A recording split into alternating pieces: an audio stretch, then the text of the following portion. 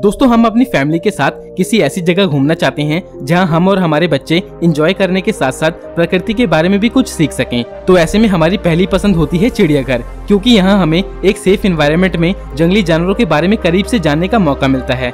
वहीं कुछ लोग ऐसे भी हैं जिन्हें जू का कंसेप्ट बिल्कुल भी सही नहीं लगता, क्योंकि उनका मानना है कि हमारी तरह ही जानवर भी आज़ाद रहना चाहते हैं और उन्हें हमें ऐसे पिंजरे में नहीं रखना चाहिए। लेकिन दोस्तों, हमें ये बात बिल्कुल भी नहीं भूलनी चाहिए कि कुछ शिकारी लोग थोड़े से पैसों की लालच में जंगली जानवरों को मार देते हैं, जिसकी वजह से इनकी संख्या दिन पे दिन कम होती जा रही है। और इसीलिए जानवरों के संरक्षण के लिए जू में इन जानवरों को एक ऐसा माहौल देने की कोशिश करी जाती है जैसा ये जानवर डिजर्व करते हैं। और यहाँ इनके खाने पीने के साथ साथ इनकी बीमारी का भी ख्याल रखा जाता है। फिर भी दोस्तों इनमें से कुछ जानवर ऐसे होते हैं जो खुद को इन जगहों से आज़ाद करने के लिए कुछ भी कर गुजरते हैं और सफल भी होते हैं। और आज हम आपसे ऐसे ही कुछ जानवर के बारे में बात करेंगे जो चिड़िया घरों से कई बार भाग चुके हैं। वीडियो स्टार्ट करने से पहले आपसे रिक्वेस्ट है कि प्लीज़ हमारे चैनल अनोन फैक्ट हिंदी को सब्सक्राइब करो और घंटे को भी दबा दो। So let's begin.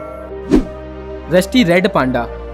दोस्तों, रेड पांडा देखने में काफ़ी क्यूट लगते हैं और ये हार्मलेस भी होते हैं। पर वॉशिंगटन डीसी के नेशनल जू में रहने वाला ये रेड पांडा, जिसका नाम रस्टी था, ये अपने केज से भागने में सफल हो गया था।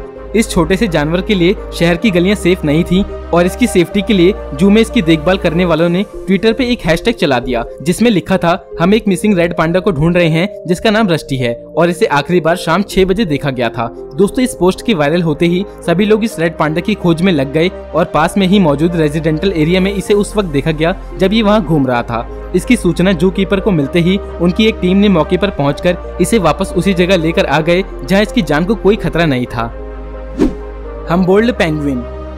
दोस्तों, हमारी इस लिस्ट में अगले नंबर पर वो है जिसे चिड़ियाघर तक वापस लाने में बयासी दिन लग गए थे, क्योंकि जू कीपर्स को 135 पेंगुइन में से खोई हुई एक पेंगुइन के बारे में उस वक्त पता चला जब किसी ने उन्हें इसकी फ़ोटो भेजी।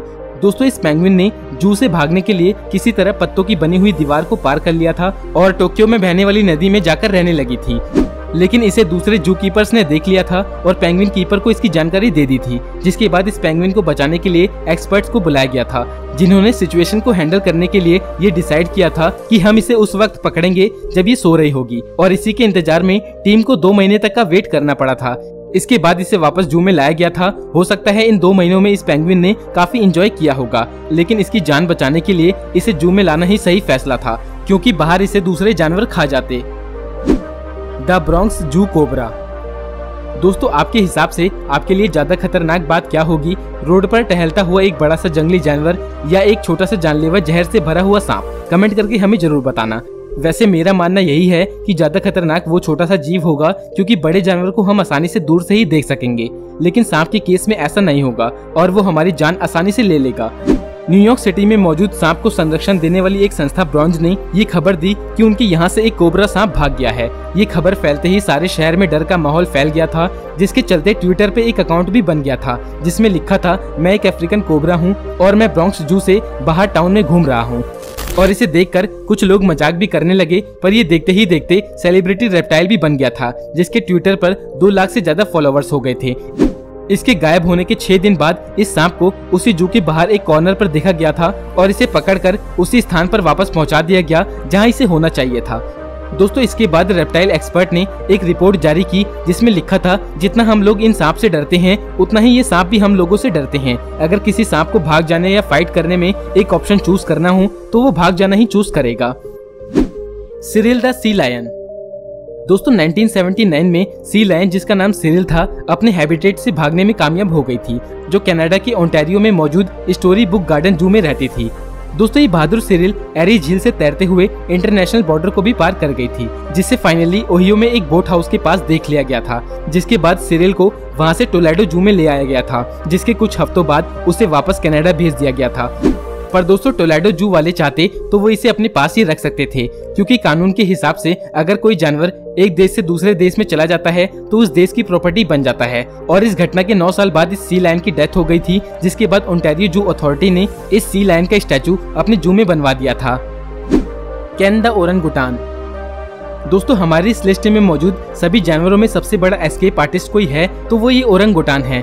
1971 में पैदा हुआ ये औरंगुटान 80 के दशक में जू से भागने की अपनी इस स्किल से काफ़ी ज़्यादा फ़ेमस हो गया था। लेकिन ये अपने केज से निकलने के बाद इस सैंडिगो जू में ही घूमता रहता था और ये किसी भी टूरिस्ट को नुकसान नहीं पहुंचाता था। शायद इसे पता था कि यहाँ से दूर जाना इसके लिए खतरनाक साबित हो सकता है, जिससे इसकी रखवाली करने वाले जल्द ही इसे पकड़कर इसको वापस हैबिटेट में भेज देते थे। पर दोस्तों ये हर बार वहाँ से भागने में कामयाब हो जाता था, जिससे परेशान होकर जू अथॉरिटी ने एक पत्थर की दीवार बनाने के लिए चालीस हज़ार डॉलर खर्च कर दिए थे। लेकिन इसका भी इस पे कोई फ़ायदा नहीं हुआ, और ये बंदर इस दीवार से भी भागने में सफल हो गया था। और दोस्तों यही करते करते कुछ साल बाद साल 2000 में इसकी डेथ हो गई थी। वर्जीनिया द वॉल्फ दोस्तों, अगर आपके पास कोई कैट या कुत्ता है तो आपको पता ही होगा, अगर ये भागने पर आ जाएँ तो कोई ना कोई रास्ता ढूंढ ही लेते हैं और भागने में सफल हो जाते हैं। नॉर्मली कुत्ते तो घर में ही रहते हैं, पर अगर आप गेट बंद करना भूल जाएँ तो फिर इनका घर में मिलना लगभग नामुमकिन ही होता है। और इन्हीं की तरह ही इनके relative Virginia Wolf Los Angeles में मौजूद जू से भागने में सफल हो गए थे।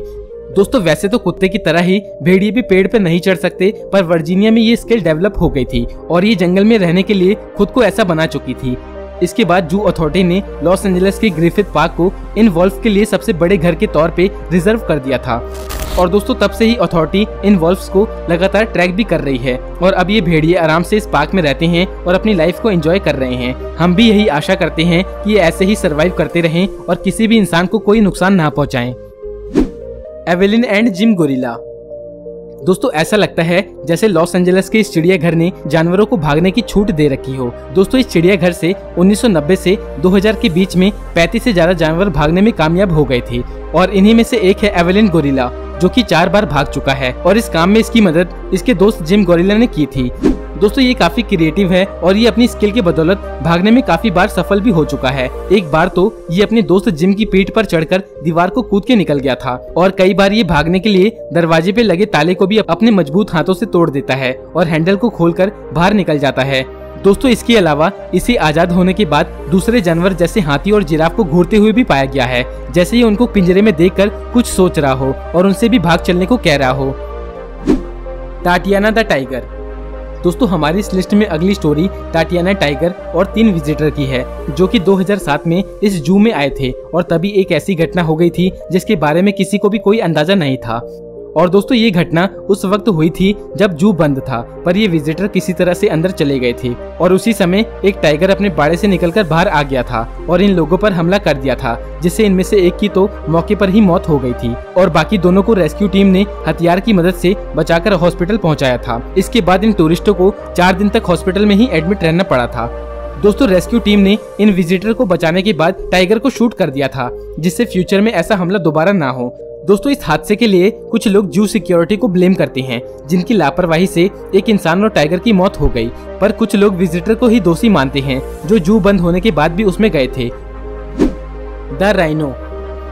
दोस्तों, उन्नीस सौ छियानवे में एक सफ़ेद राइनो अपने एनक्लोजर से भागकर एक हाईवे पर आ गया था और उसने पशुपालन की एक टीम को मारने की कोशिश भी की थी, जो इस राइनो पर डॉट्स यूज़ करना चाहते थे। इस राइनो को कुछ ही दिनों पहले एकेडिनो जू में लाया गया था, जहाँ से आज़ाद होना चाहता था। दोस्तों, इन राइनो में इतनी ताकत होती है कि ये दूसरे मेल राइनो से लड़ाई करते वक्त स्टील की पाइप को भी टेढ़ा कर सकते हैं। जू से भागने के बाद इसे यूएस हाईवे 90 पर सुबह चार बजे देखा गया था, जिसके बाद पशुपालन की एक टीम ने आकर इसे पकड़ना चाहा, पर ये उन्हें भी मारकर भाग रहा था। लेकिन दोस्तों फाइनली राइफल की मदद से इस राइनो को बेहोश किया जा सका और वापस उसी जू में भेज दिया गया, जहाँ इसको किसी भी चीज़ से कोई खतरा नहीं था और इसे खाने के लिए किसी दूसरे राइनो से लड़ने की ज़रूरत नहीं थी। Three escape in one day दोस्तों, इस लिस्ट को कंप्लीट करने से पहले हम आपको एक या दो नहीं, बल्कि तीन जानवरों के बारे में बताएँगे, जो कि एक ही दिन में एक ही जू से भाग गए थे। 1964 में एक जू कीपर को एक कॉल आई, जिसमें उसे बताया गया कि उसके जू से जंगली भैंस भाग गई है, जिन्हें बाद में पुलिस ने पकड़ लिया था। और फिर इसके कुछ ही देर बाद एक और ऐसी कॉल आई, जिसमें उन्हें पता चला कि चिड़ियाघर का एक भारी भरकम हिप्पो भागकर शहर की गलियों में घूम रहा है। दोस्तों, इस हिप्पो को पकड़कर वापस जू में लाते कि इससे पहले ही एक बकरी भी जू को छोड़कर चली गई थी, जिसे वापस लाने में जू कीपर्स को काफ़ी दौड़ धूप करनी पड़ी थी। दोस्तों, ऐसे किसी भी जानवर का जू से भागने में सफल हो जाने से एक बात तो साफ़ हो जाती है कि हमारी सिक्योरिटी सिस्टम में अभी कितनी इम्प्रूवमेंट की ज़रूरत है, जिससे हम इंसानों और जू में लाए गए जानवरों को सुरक्षित रख सकें। दोस्तों, अब आप हमें कमेंट करके बताइए कि क्या आपका कभी पालतू जानवर ऐसे चुपके से भाग कर गया है? और अगर आपको ये वीडियो अच्छी लगी तो वीडियो को लाइक कर देना। और ऐसी ही इंटरेस्टिंग वीडियोस को देखने के लिए हमारे दोनों चैनल अनोन टेक हिंदी और अनोन फैक्ट्स हिंदी को सब्सक्राइब करके घंटे को दबा दो। तो मिलते हैं नेक्स्ट वीडियो में एक और धांसू वीडियो के साथ। अपना कीमती समय देने के लिए बहुत बहुत धन्यवाद।